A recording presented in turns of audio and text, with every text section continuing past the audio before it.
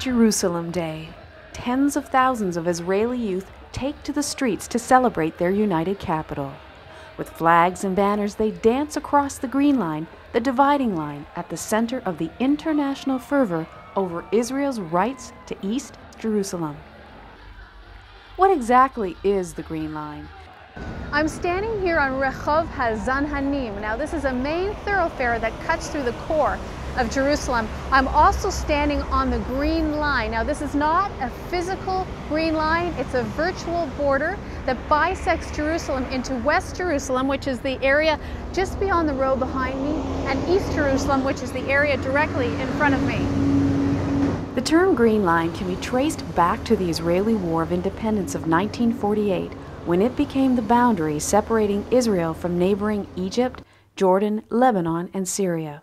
The victory of Israel's 1967 Six Day War erased those lines and re-established Israel's territory to the borders preceding Israeli withdrawal from the Sinai and Gaza.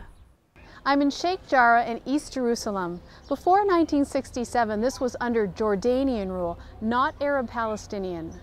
East and West Jerusalem were reunited as a result of the Israeli victory of the Six Day War.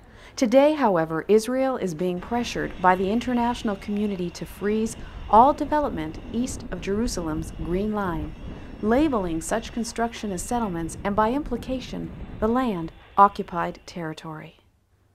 East Jerusalem has become a significant factor in the current peace negotiations, but some take it even a step further.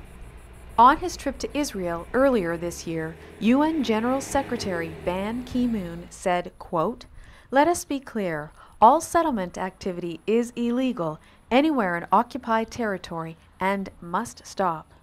Illegal? Not according to the San Remo Conference. In 1920, it was incorporated into international law that the legal title to the land of Israel belonged to the Jewish people. The mandate was issued by the League of Nations and has never been canceled by any subsequent binding international resolution. According to this law, Israel has the right to build because the disputed territories are within Israel's borders. Is the international community refusing to acknowledge this existing law?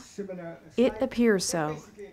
Settlements are covered in Article 6 of the Mandate for Palestine, again, the legal international document of the Mandate for Palestine, and clearly says that not only the Jews have the right to uh, settlement, that the world has the obligation to help them to settle.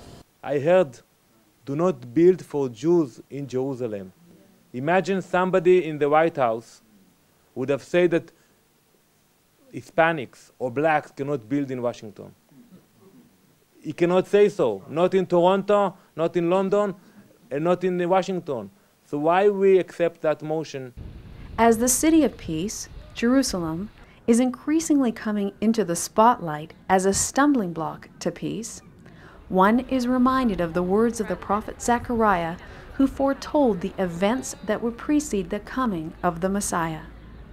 Behold, I'm going to make Jerusalem a cup that causes reeling to all the peoples around, and all the nations of the earth will be gathered against it. So, what time is it in relation to end time events? Viewing the current scenario against the backdrop of biblical prophecy, it could be later than we think. Marney Blom, Acts News Network, Jerusalem.